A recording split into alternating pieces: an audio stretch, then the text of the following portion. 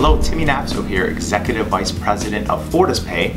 We're discussing Amazon Alexa's launch into the business world and what the possibilities are of Alexa entering the business world. So far as we know, Alexa has been you know, powering many homes. They've become quite powerful in the home automation space.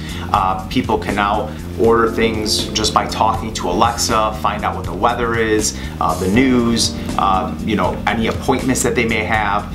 Uh, they've done a really good job of simplifying uh, and streamlining the home experience and we're just watching this get better. Turn on the lights, turn off the lights, so on and so forth.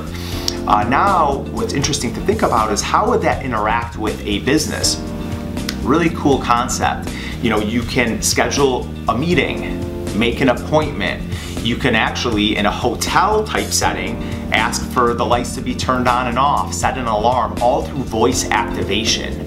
And hotels obviously are looking to make the guest experience better, and how they've done that is saying, well, in, you know, today's age, right, we're looking at the future being Alexa, in today's age, if you want to set a alarm or a wake up call, you would have to call the front desk to do so. Well, in the day of Alexa, you could just say, set a wake up call for 6 a.m. tomorrow, and it would set that wake up call for you.